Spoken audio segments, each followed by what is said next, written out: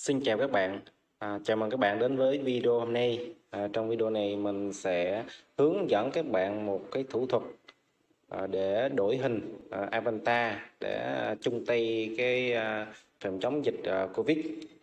Thì à, như các bạn biết là hiện nay thì Covid à, ở Việt Nam chúng ta đang rất là nóng. Thì à, đặc biệt à, là những cái ca nhiễm à, trong cộng đồng. Thì à, để chung tay để chung tay à, à, tuyên truyền đến mọi người về cái à, việc à, phòng tránh à, Covid. Thì à, Facebook cũng à, tung ra một cái à, à, thủ thuật để các bạn có thể là thay đổi cái avatar à, của chúng ta à, để hưởng ứng cái à, lời kêu gọi à, chung tay à, đánh bay Covid các bạn. Thì à, trong cái thủ thuật này mình sẽ hướng dẫn các bạn thao tác trên điện thoại của chúng ta để chúng ta thay đổi cái thay đổi cái avatar à, thành một cái hình kèm theo một cái thông điệp là phòng tránh covid. À, các bạn. Thì đây là một à, đây, đây cũng là một cái thủ thuật khá đơn giản các bạn. Thì à, à, nó chỉ thêm vào một cái hiệu ứng. À, trên cái hình ảnh đại diện chúng ta là một cái thông điệp là phòng tránh covid thôi. Đó thì rất là đơn giản thôi. Thì để thay đổi cái uh, ảnh đại diện này thì đầu tiên các bạn uh, truy cập vào Facebook à, trên ứng dụng điện thoại của chúng ta ha các bạn truy cập vào ứng dụng Facebook. Thì đây là ứng dụng Facebook của chúng ta. Rồi sau đó các bạn vào cái phần trang cá nhân của chúng ta.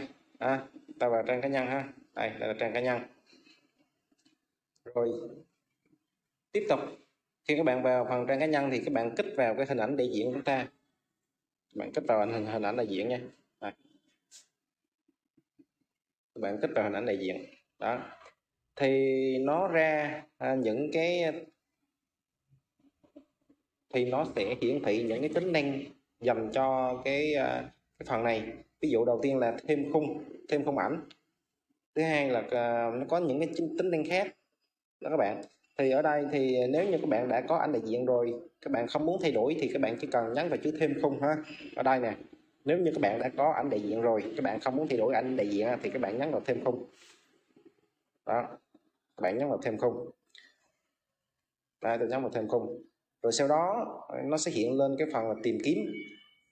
À, nó hiện lên cái phần tìm kiếm.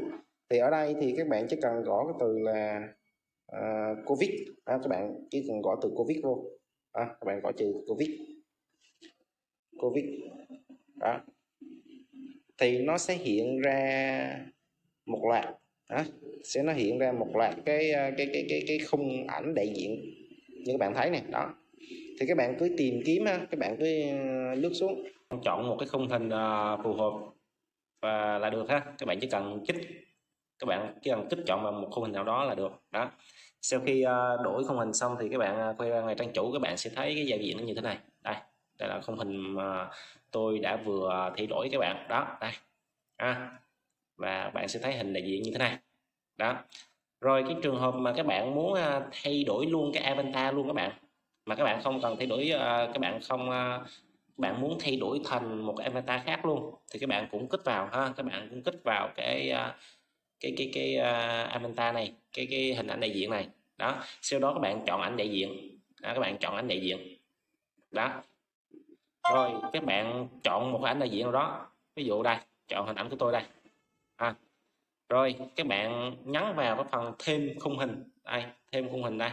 Đó bạn thêm khung hình. À. rồi các bạn cũng làm tương tự các bạn cũng gõ từ là covid. Covid. Được chưa? Rồi đó. Rồi khi mà các bạn gõ chữ covid nữa này thì các bạn cứ chọn cái hình à, à, covid cho nó phù hợp mà các bạn cứ chọn cái hình covid mà các bạn muốn là được ha. Đây các bạn kéo xuống bên dưới sẽ nó có những cái khung hình khá là đẹp. Đó thì cái sau khi các bạn à, chọn xong thì các bạn sẽ có một cái avatar mới à, để các bạn à, có thể là tuyên truyền về cái việc phòng tránh à, covid như à, như thế này. Đó được cho các bạn?